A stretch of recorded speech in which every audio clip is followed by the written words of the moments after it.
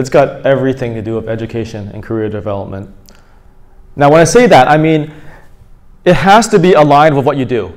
What you do and your values has to be aligned. And the reason for that is because the future, what we see in the future is that AI and robotics is going to replace a lot of the rote labor. So the things, if you're sitting down and the job is to hammer that item and then move on, and then you hammer the same item and you move on, these are the jobs that are going to be replaced.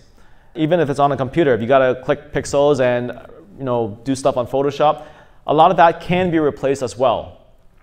What's difficult to replace then is the creativity and the ingenuity that people come up with, with new ideas to solve problems. And so when we're talking about that then, for someone to be creative, they have to be motivated. If there's no motivation, you can't be creative. And the only way to be motivated is if what you do is aligned with your values.